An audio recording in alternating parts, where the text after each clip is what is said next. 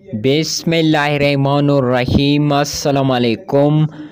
महकमा मौसमियात ने आने वाले चार रोज़ तक बारिशों, बर्फबारी की पेशंगोई कर दी, लेकिन कौन कौन से शहरों में नई अपडेट लेकर हाजिर हूँ, साथ में चैनल को सब्सक्राइब और वीडियो को लाइक कर दीजिए। बहुत शुक्रिया।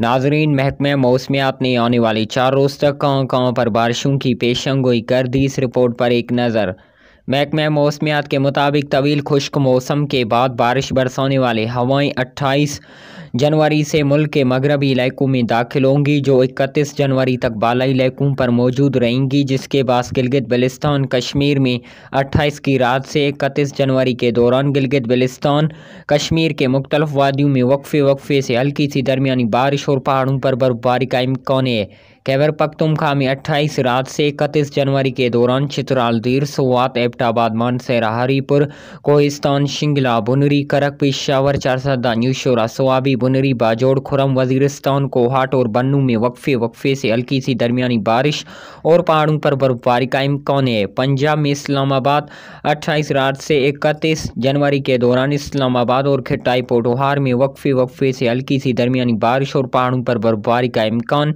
इस दौरान मरी और गिलियात में भी वक्फे वक्फे से बारिश और पहाड़ों पर बर्फबारी का इम्कान।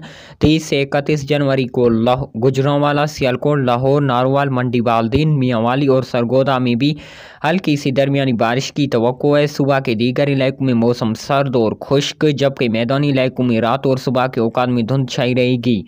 बलोचिस्तान में 28 और उनतीस जनवरी को कोयटिया यूब, जियारत, चमन, बारखान और मकरान के साइली इलाकों में वक्फे वक्फे से हल्की सी दरमियानी बारिश और पहाड़ों पर बर्फबारी का इम्कान है। सुबह सिंध के बेशतर इलाके में मौसम सर्द और खुश्क रहेगा।